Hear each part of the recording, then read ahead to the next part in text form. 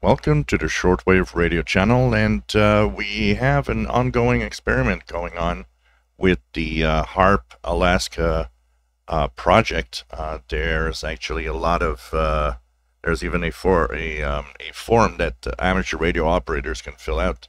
Uh, they are asking for amateur radio operators for some input.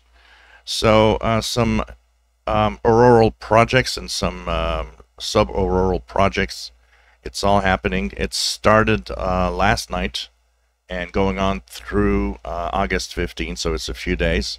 It's August 12 to 15 UTC.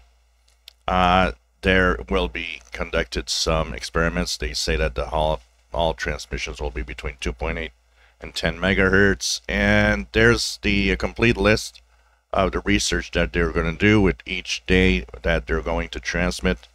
So uh, we'll be um, we'll be uh, checking out what exactly it's all about. Uh, so, for example, today we are August um, 13th, which means that from 2020 to 24 to 0 UTC, uh, which means it's pretty much starting now when I'm actually doing this. Um, there's going to be some activity, and also tonight at 0 to 0 315. So, there's going to be interesting. Then tomorrow, there's going to be more 2215 to 0 UTC. And um, there's going to be um, one last extended operation on August 15 from 0 to 0745.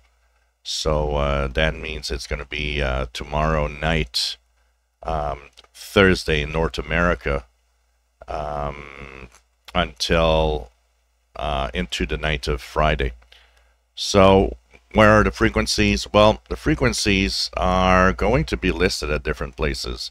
What I usually do is go on the um, World of Radio IO group uh, because a lot of uh, a lot of um, guys there actually monitor this and post frequencies where they see unusual things happen that are probably related related to the HAARP experiments. And um, of course, this is going to be something to check out. Um, can pop up anywhere. Uh, but uh, there's a document that you can download, and this is the document. It contains a lot of information. I suggest that you go and read this and check out all the info. And uh, we'll see what uh, frequencies they might be using for their experiments at the same time. And uh, hopefully, maybe make videos of some of the experiments if I can hear these signals here uh, in Montreal. And um, if I find some frequencies where HAARP is supposed to be, I will share them on the Facebook group and also on my uh, Blue Sky account so that you can check out.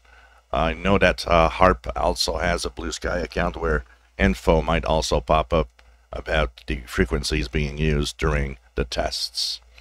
So link to this document in the description below and hopefully you'll be successful in hearing some signals coming out of the Alaska Research Center. If you enjoy my videos, please subscribe, give us thumbs up. Thank you for watching.